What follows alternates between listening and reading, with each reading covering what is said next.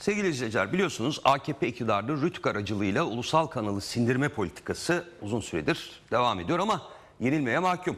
Neden mi? Çünkü ulusal kanal bu özgür ekran halkın malı. RÜTK baskısını Hataylılara sorduk örneğin. Yanıt şöyle. Kanalımızı kapatırsanız ulusal 1'i açarız. Olmadı ulusal 2'yi açarız. Ulusal kanalı kapatmasını hiçbir şekilde izin vermeyeceğiz. Ulusal kanalın arkasında destek olacağız. İzin verilmeyecek AKP bunu kafasına soksun izin vermiyoruz. Güneş balçıkla kapatılamaz, gerçeklerin üstü kapatılamaz, ulusal kanal da kapatılamaz. Ulusal kanalın kapatılmasını istemiyoruz. Ulusal halkın kanalı kapatılamaz. Bizim desteğimizle ayakta her zaman da böyle kalacak. En çok izlenen kanalı kapatmaları zaten anlamsız. Ne yapıp edip yine ulusal kanal izleyeceğiz.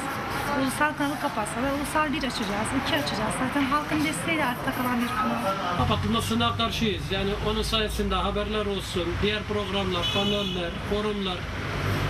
Bunlar hoşumuza giden şeyler yani. Türkiye'de olup bitenden her şeyden haberimiz oluyor yani. Bu sayede haberimiz oldu yani. Kapatılmasına kesinlikle bir esnaf, bir vatandaş olarak taraftar değiliz yani. Bu kanal Tayyip'in dediklerini yapmadığı için, satılmadığı için kapatılmaya çalışıyor. Biz buna izin vermeyeceğiz. Gerçek haber veriyor. O yüzden kapanmasını istemiyoruz. Ulusal kanalın e, kapanmasını istemiyorum.